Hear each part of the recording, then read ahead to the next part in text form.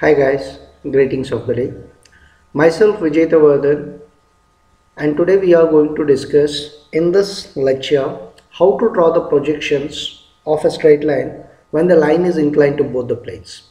In my previous lecture, I have shown you how to draw the projection of a straight line in different condition when a line is held parallel and inclined and other things. But here in this lecture, the actual projection when a line is inclined to both the planes, that is, when a line is inclined to both HP and VP, that was that is what, what we are going to discuss.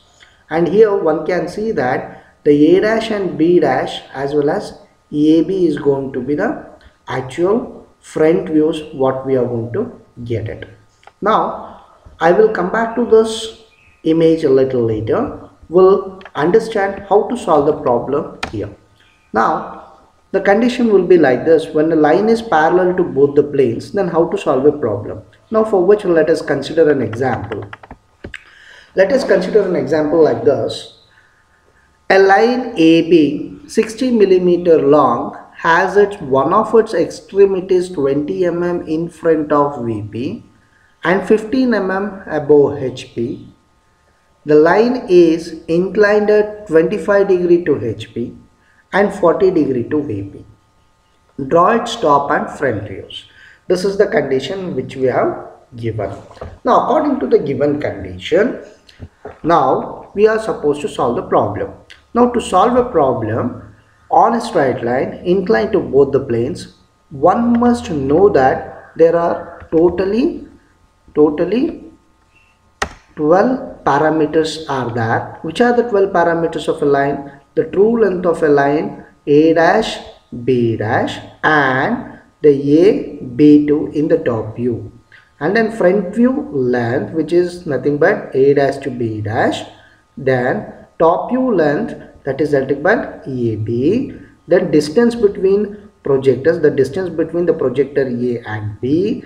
Then locus of b dash is nothing but the height of one end of a line from xy line and then a locus of a dash is nothing but another end of a line above hp similar to the locus of b. In the same fashion, locus of A and locus of B are nothing but the locus of A is one end of a line is in front of VP and locus of B is another end of a line in front of VP and the true inclination HP that is called as theta and true inclination to VP that is called as phi which we have discussed in the previous sessions and then apparent angle to HP is denoted by angle alpha and apparent angle to VP is denoted by angle beta.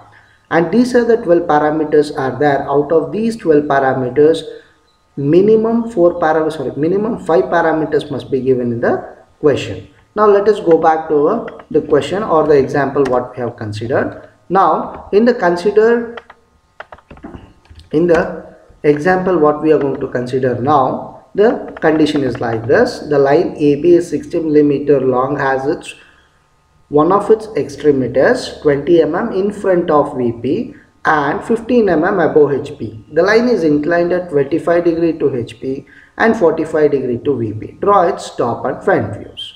Now line AB is nothing but what? It is a true length of a line. The true length is going to be like this 60 mm that is nothing but a dash to b1 dash as well as a b2 is considered as 60 mm and one of its extremities is 20 mm in front of vp that is nothing but the end a is 20 mm in front of vp that is nothing but the locus of a. And then 15 mm above hp that is nothing but end a is 15 mm above HP that is nothing but the locus of A dash and then the line is inclined at an angle of 25 degree to HP and 40 degree to VP. Now 25 degree to HP that is nothing but angle theta and 40 degree to HP that is nothing but angle phi.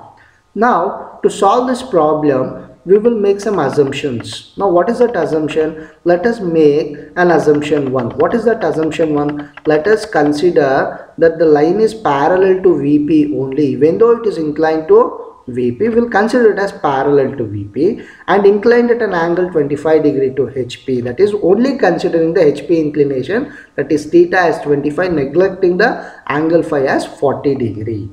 And according to the previous lecture what we have discussed in the section line 3A1 to line 3A4 let us draw the condition like this. Now you can see the given true length is 60 degree sorry 60 mm how to draw that one? Now draw an xy line. After drawing an xy line the end a is above 15 mm now above 15 mm draw a locus this point will be always parallel to xy line at whatever may be the inclination it is given now at an angle of 50 at a height of 15 mm let us draw the locus of a dash and at a locus of A will be drawn at a distance of 20 mm. Now after drawing these two locuses and one can locate a point A dash anywhere on the locus A. Once it is done using a protractor one can set the protractor here and read the angle as 25 degree and draw this line. The length of this line must be equal to 60 mm.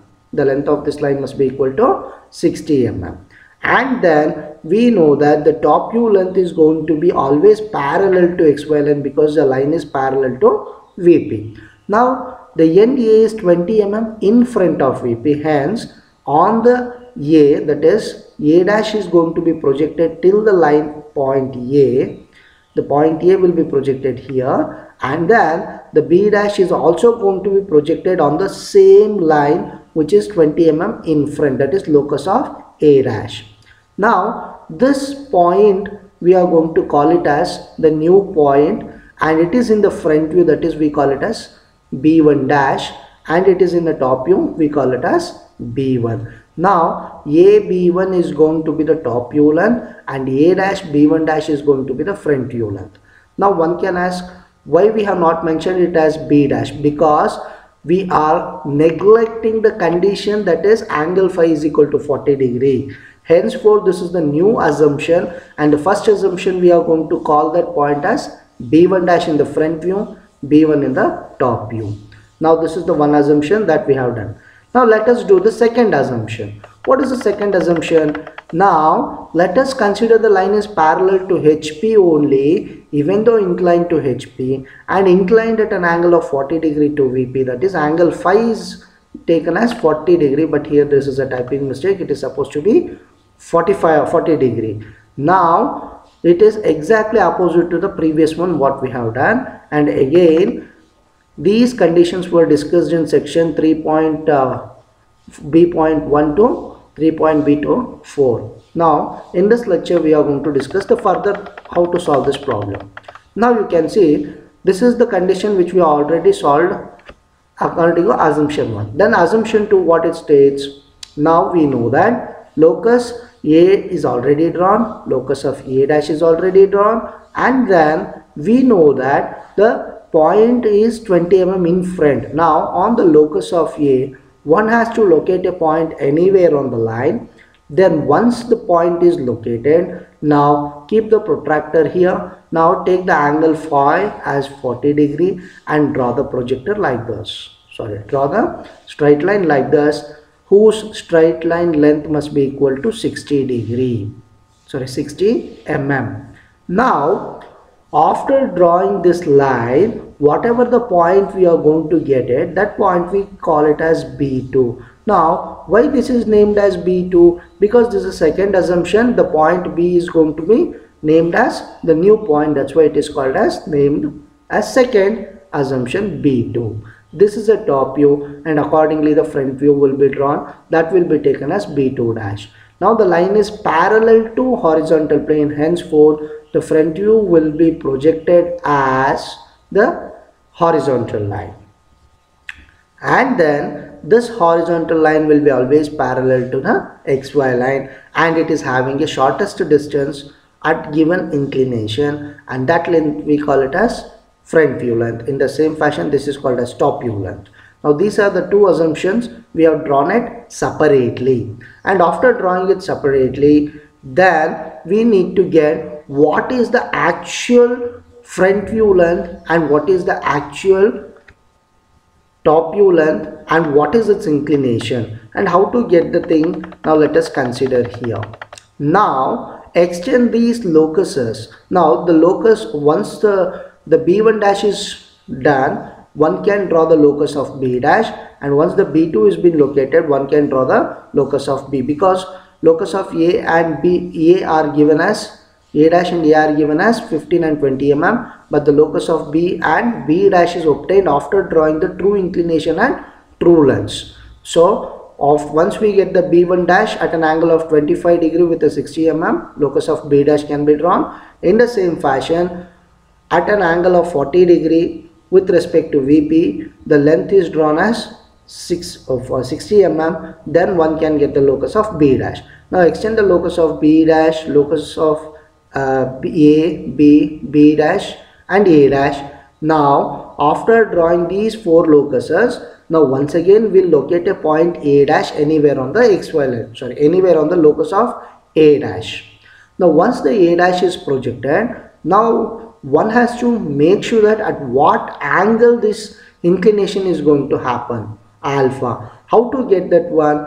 Now we know that the front view length is fixed take this front view line a dash on the xy line then using the compass using the compass take a dash as center b2 dash as radius and locate it on a dash and then without changing its radius shift the line to the locus of b dash. Now this is the actual view when the line is inclined at both the planes. And this view is called as the required front view of a straight line. The required front view of a straight line is always the apparent length. And that apparent length we call it as front view length. This front view length is nothing but the actual front view when a line is inclined to both the planes.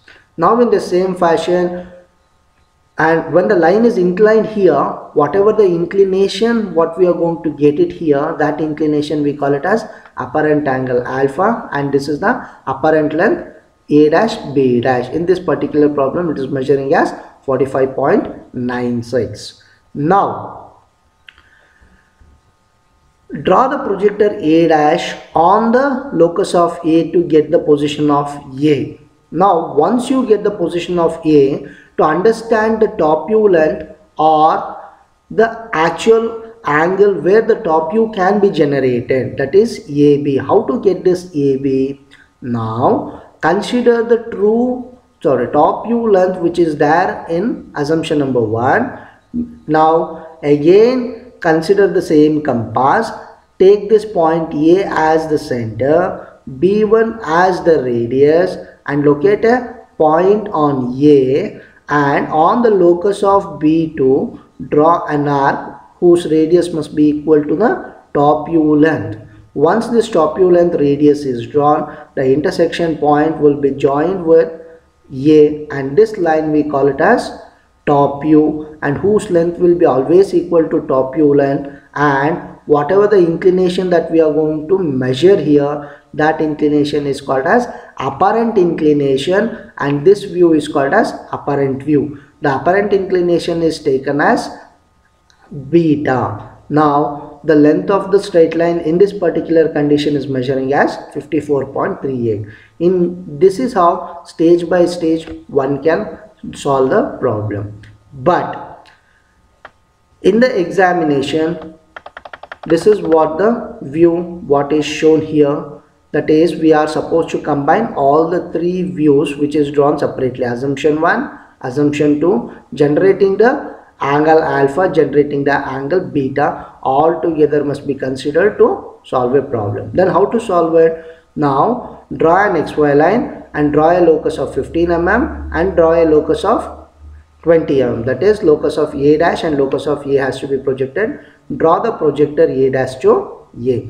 After drawing the projector A dash to A, then we know the condition called as the true length. Now true length and true inclination that is A dash to B1 dash has to be projected first and then A to B2 A and B2 has to be projected that is A and B2 that is angle 40 degree will be known to us. Draw a line whose length is 60 mm. This is how we are supposed to solve it. And then what we are supposed to do? Now we know that b1 dash has to be drawn that is the projection has to be done up to the locus of a because that condition we are making it as parallel to vp now we are making that as parallel to vp when we make it parallel it will become the new position b1 then we know that from then onwards it will be always the top line henceforth this arc will be generated on the locus of b2 now whatever the point we are going to get that is the actual position of a top view then join this b dash to a sorry b to a as a dark line which is nothing but the required top view of a straight line when a line is inclined to both the plane.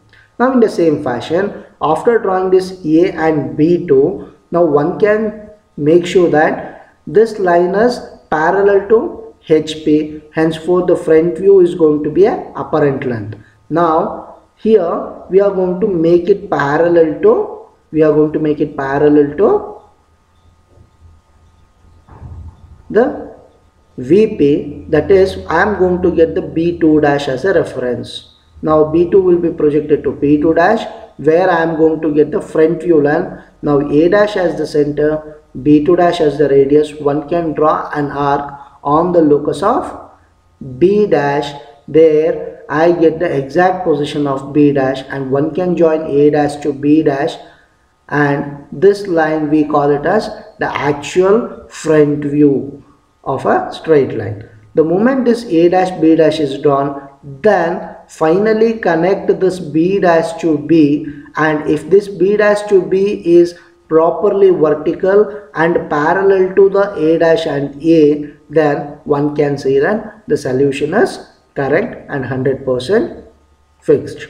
Then this is how we are supposed to solve a problem. Now you can see the final view how it is going to be.